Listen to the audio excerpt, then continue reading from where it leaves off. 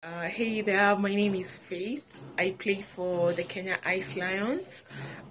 During this COVID time, we haven't been able to play or train as a team.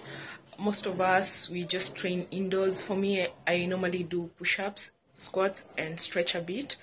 Uh, it has really been hard for us, both financially, mentally, physically, emotionally.